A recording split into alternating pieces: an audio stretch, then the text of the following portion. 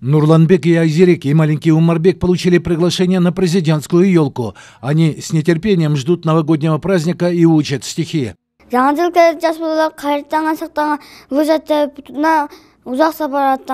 На президентскую елку были приглашены сын и дочь Ачелбека Ташбекова, который погиб, защищая границу Кыргызстана. У защитника Родины остались жена и пятеро детей.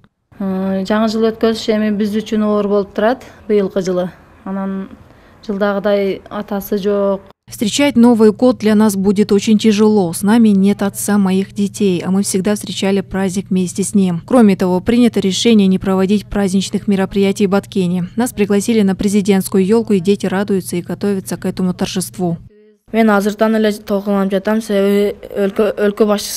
Я очень волнуюсь. Я буду рад получить подарок из рук президента страны. Когда вырасту, хочу приносить пользу стране и народу. Мен мектептен келсем апам тамак кылыптыр Когда я вернулась из школы, мама готовила еду. Я начала помогать ей, и тогда она сообщила, что нас пригласили на президентскую елку.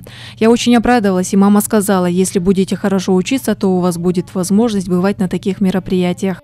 Традиционно на президентскую елку из области приглашали 20 детей, в основном отличников учебы и из малообеспеченных семей. В этом году по инициативе главы государства из Баткена пригласили 130 детей, 100 из семей, пострадавших во время приграничных конфликтов, а 30 – это дети, чьи отцы погибли, защищая родину.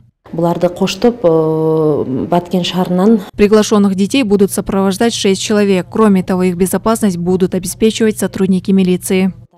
На предстоящую президентскую елку приедут и дети из семи областей Кыргызстана. Усен Кульбаев, Максатбек Аклбеков, Бактыбек Нышамбай Улу, Алатау 24, Баткенская область.